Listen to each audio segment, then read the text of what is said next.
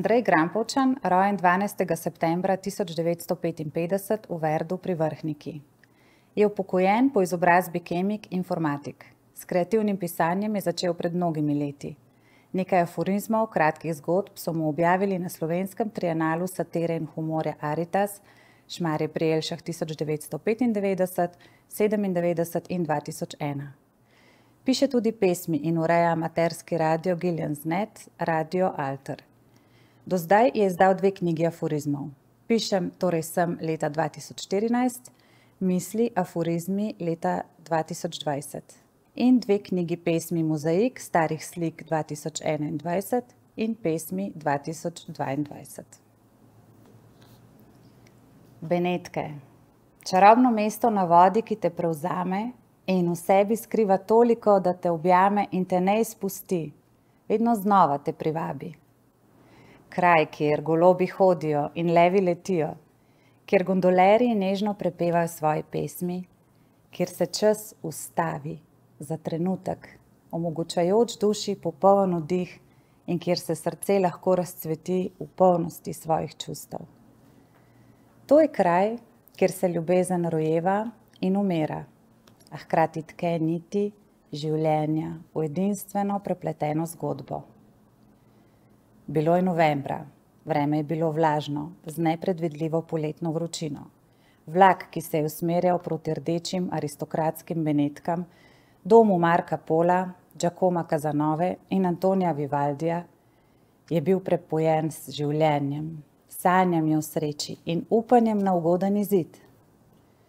Skozi okna vlaka se je odvijala pokrajina z redkimi hišami, Goste meglice pa so nežno šepetale skrivnostne zgodbe srca med odmori spanja, vse do obale morja. Še pred nočjo, v Beneškem hotelu z levom na fasadi, tujci šepetajo svoje jezike, čakajo na proste sobe ob temačnem, osamljenem kanalu. Pogledi skozi okna razkrivajo izrezljane skrinje palač, napolnjene zakladi z vseh koncev sveta, temne silhuete cerkvenih kupol in strehe hiš nad kanali, kjer se vijajo jeziki umazane, smrdljive in motne zelene vode. Obzori, na robu spanja, se utrujeno prebuja telo tujca ob nežnem soncu, ki se sveti v jutranjih sanjah. Dan v mestu je obrobljen sanjami, razpetimi kot cvetovi. Če je človek sam, so njegova opazovanja in srečanja hkrati bolj zabrisana in bolj plodna kot v družbi. Njegove misli so težje, bolj čudaške in nikoli brez nadiha žalosti. Podobe in zaznave, ki bi jih druženje odpravilo s pogledi, smehom in izmenjavo misli, se poglobijo v molku. Postanejo pomembne, doživetje, prigoda, čustvo. Samota rodi izvirno, drzno in vznemirljivo lepoto včasih pa tudi nesorazmernost, absurd in pregreho. Med sprehodom po oskih ulicah mesta, ki lovijo svetlobo, opaziš, da so mostovi kot izbočeni nosovi, oči pa sledijo sencam. Trgi mesta so skriti, da lahko zaljubljenci tiho uživajo. Benetke razkrivajo svoj čar, Venecija mostra il suo faskino.